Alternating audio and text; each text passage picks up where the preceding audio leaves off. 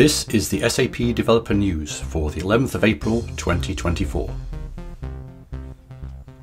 Hands on SAP Dev is a live stream show brought to you by the Developer Advocates, a show that's been running since January 2019 and a show that has a focus on curiosity driven collaborative learning by doing. Over the years, that's amounted to a lot of learning on many developer focused topics. Some of you regulars may already know, but others might not. So we wanted to let you know that recently we've been running a Back to Basics series on CAP Node.js, and we're coming to our 10th episode in that series. It's especially for beginners who are all welcome, along with everybody else, of course. If you're curious about how to get started with CAP and to learn about the fundamentals, this is the series for you. The live streams are always on Fridays at 0800 UK, which is UTC plus one right now, and you can catch up on all the replays of the previous episodes by watching them in this playlist. They're all here on the SAP Developers YouTube channel. Have fun and stay curious. Hi, builders. I wanted again to remind you of this month's community challenge, which is on SAP Build Apps. Week 2 is now available and the link is in the show notes below. This week's challenge dives into formulas and my colleague Daniel will help you understand the power of formulas and how to create them from scratch using the formula editor. So make sure you keep up to date with the tasks. Also, if you can't get enough of learning more about SAP Build, please check out the latest OpenSAP free course. It's on how to transform your business process with SAP Signavio and SAP Build. Over five weeks, it will take you through how to analyze business processes using SAP Signavio, automating business processes using SAP Build Process Automation, as well as creating front end applications with SAP Build Apps and Graph. Again, the link is in the show notes below. Happy learning, builders. Hola, SAP developers. The developer advocacy team has been running a few projects the last couple of uh, months, and there are more coming your way. This week, the CAP RAP Roadshow starts.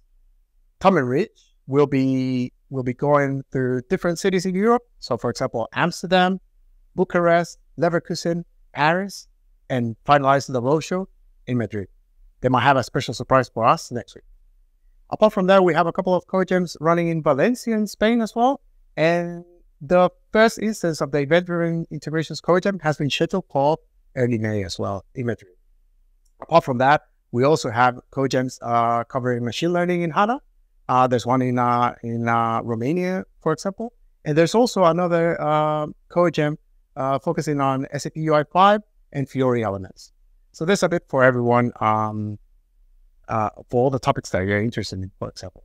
So make sure to check out the CodeJams uh, events page that I'm including the link in the description below so that you end up finding out where the next in-person event uh, uh, will take place. Happy learning. I would like to highlight three events hosted by our product teams. The first event is Discover the, the Future of Planning and Analytics, scheduled for April 17th. Utilizing the flexible simulations in SAP Analytics Cloud, you can assess various strategic options and proactively guide your organization. This Discovery Day offers an opportunity to learn from top planning experts about specific actions to take, the strategies being implemented, and how various companies, including SAP, have addressed these challenges. During this presentation, you will gain insights into SAP internal planning processes, transformation strategy, and current products. The second virtual event is the What's New in SAP DataSphere in Q1. It took place this week, but if you missed it, make sure to watch the recording and review slides that were presented. Please verify the dates for upcoming quarterly What's New webinars to ensure you don't miss them.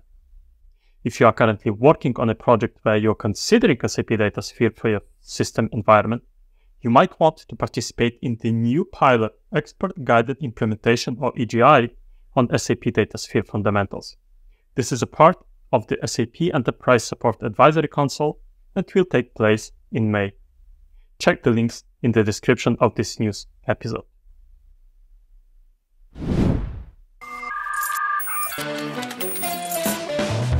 Did you know you can easily add BTP CLI to a dev space in SAP Business Application Studio? Download the Linux AMD 64 version of the tarball from the SAP Development Tools website. Once downloaded, drag it into the Explorer part of your dev space, into your home directory. Have a look inside the tarball and note the location of the binary.